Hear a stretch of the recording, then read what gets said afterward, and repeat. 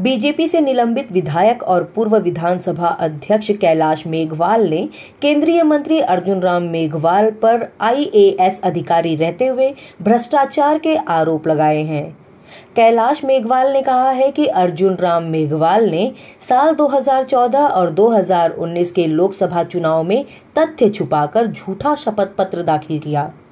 कैलाश मेघवाल का दावा है कि अर्जुन राम मेघवाल के खिलाफ आपराधिक मामले दर्ज थे, लेकिन इसके बावजूद उन्होंने शपथ पत्र में इन तथ्यों को छुपाया।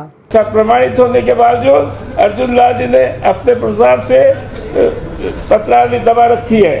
इसके बाद अर्जुन राम जी ने,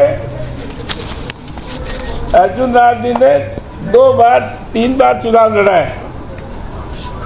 2014 में लोकसभा का चुनाव लड़ा है। और उस लोकसभा के चुनाव में जो नाम निर्देशन फार्म भरते हैं, उस नाम निर्देशन फार्म के साथ एक एफिडेविट देना पड़ता है। और उस एफिडेविट में इन्हें जो जो जानकारियाँ मांगी गई, वो जानकारियाँ गलत थी। इनसे उस, उसमें कॉलम है कि आपके खिलाफ कोई मुकदमा लंबित है या नहीं।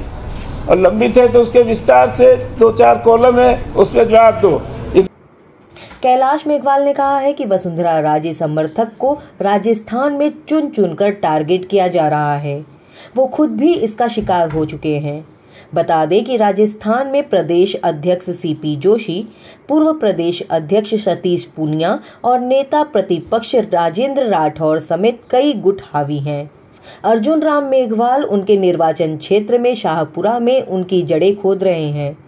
बता दें कि इसके अलावा कैलाश मेघवाल ने आरोप लगाया है कि अर्जुन मेघवाल ने चूरू कलेक्टर रहते हुए कई घोटालों में करोड़ों रुपए की घुसखोरी की है।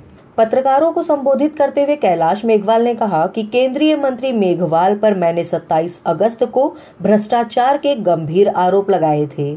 मैं इसके लिए पीएम नरेंद्र मोदी को जाँच और उनको मंत्रिमंडल से हटाने के लिए चिट्ठी भी लिखूँगा। बता दें कि अर्जुन राम मेघवाल राजस्थान से बीजेपी के लोकसभा सांसद हैं।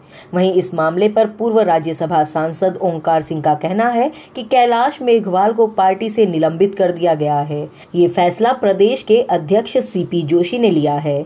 उन्होंने कहा है कि कैलाश मेघवाल लगातार अपनी पार्टी और नेताओं को सार्वजनिक रूप से बदनाम करने की कोशिश कर रहे थे।